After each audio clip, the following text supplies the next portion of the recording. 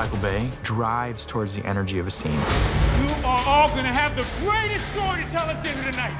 He's trying to move with what feels alive. Bring it low, then start to go up.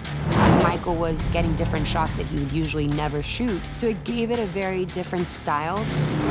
I've done nine movies with Michael, and one of my first jobs on every movie is what's the newest, coolest gear out there. So on this movie, it's called FPV. Three, two, one, and action. Michael gives us very concise direction. You understand what I'm saying? Because you're watching on, on, a tight lens here. You hold two more seconds on a movie screen, it, it needs a hundred more. Yeah. But he gives us the ability to be creative.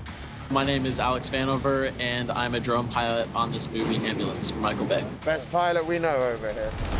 When I'm flying the drone, I'm acting like Superman in a way, where I'm trying to get these really unique angles and shots. I fly what's called an FPV drone, and FPV stands for first person view. So we wear a set of goggles on our face, and when I'm flying the drone, I'm actually flying with a VR headset, and I'm able to see exactly what the drone sees in real time. So it's a whole new arena for flying and allows us to fly in really crazy locations and get some really awesome shots you can't really get with any other camera or drone. Look at that. Oh, white.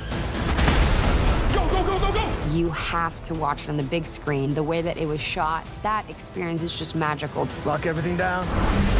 Nothing gets out. It belongs in the theater, and I cannot wait for it to be in the theater. This is definitely one where people will enjoy going on that ride for two hours. Hopefully they'll leave the theater sweating. We don't get to walk off into the sunset.